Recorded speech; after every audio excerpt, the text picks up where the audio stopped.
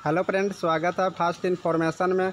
शिक्षा विभाग बिहार सरकार की तरफ़ से एक और नया ऑफिशियल नोटिफिकेशन जारी कर दिया गया है, जबकि नब्बे हज़ार शिक्षकों की नियुक्ति को लेकर के। दोस्तों, अब नब्बे हज़ार प्लस जो शिक्षक की नियुक्त किए जाएँगे मिडिल स्कूल, पर, प्राइमरी स्कूलों में, उनकी काउंसलिंग की प्रक्रिया स्टार्ट कर दिया गया है।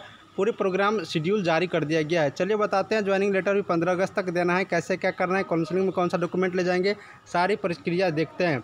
दोस्तों, बता दूँ कि आज के पेपर के माध्यम से और कल के नोटिस में भी जारी कर दिया गया, शिक्षक पदों के लिए काउंसलिंग पाँच से पंद्रह अगस्त से पहले नियुक्ति।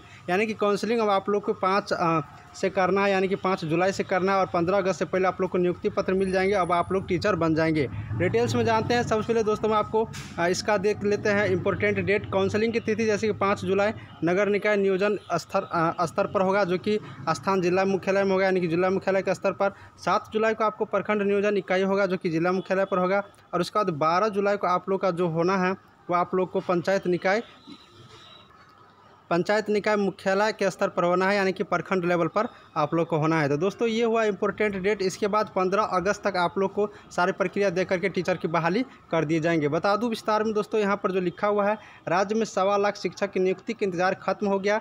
शिक्षा मंत्री विजय कुमार चौधरी ने बुधवार को बताया कि पाँच जुलाई से मेधा सूची के आधार पर शिक्षक अभ्यात्रियों की काउंसलिंग होगी और 15 अगस्त से पहले चयनित अभ्यात्रियों की नियुक्ति पत्र सौंप दिया जाएगा। बहुत ही खुशी की खबर है दोस्तों। साथ ही बता दूँ, शिक्षा विभाग की ओर से काउंसलिंग संबंधी शेड्यूल भी जारी कर दिया, जो कि शेड्यूल आप लोग यहाँ पर देख लिए।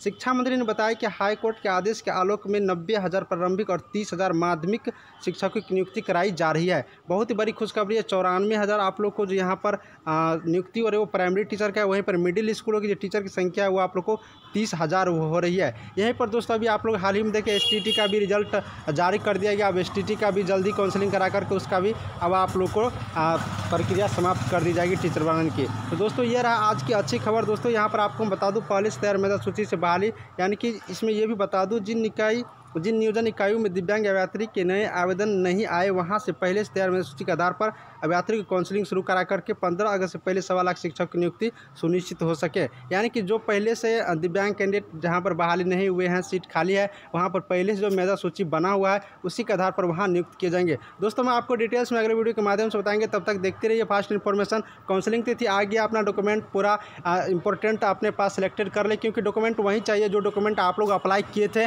ऑनलाइन सॉरी अप्लाई किए थे आप लोग प्रखंड नियोजन के लिए जो आप आवेदन दिए थे हर प्रखंड प्रखंड जाकर के उन सभी डॉक्यूमेंट जो सपोर्टिंग किए थे, वहीं जैसे कि marksheet inter matric graduation D L Ed B Ed जो भी किए थे सारे डॉक्यूमेंट जाते वास्ते सारा अपना फ़ोटो सहित अपना कलेक्ट करके एक साथ रख ले और पाँच जुलाई से आप लोग की नियोजन की प्रक्रिया स्टार्ट हो जाएँगे। तो दोस्तों, इस तरह की सारी खबर हमारे चैनल के माध्यम से मिलता रहेगा। आप लोग को इसलिए सब्सक्राइब करें बेलाइकन दबाए। दोस्तों, को भी शेयर करके बताएँ कि सबसे पहले फास्ट इन्फॉर्मेशन के माध्यम से शिक्षकों के रिगार्डिंग जानकारी दिया जाता है। दोस्तों, आज एक दो घंटे के बाद हम आपको स्पेशल वीडियो बनाएँगे, जिसमें प्रक्रिया बताएँगे कि कैसे कैसे काउंसलिंग कराया जाता है, कहाँ पर आपको पहले काउंसलिंग कराना है, अगर नाम आता है तीन चार जगह तो फिर आपका सिलेक्शन हो सके। सारा जानकारी आपको हम देंगे, हम एनालिसिस कर रहे हैं, तब तक मिलेंगे अगले वीडियो में नई खबरों को लेकर के। Thank you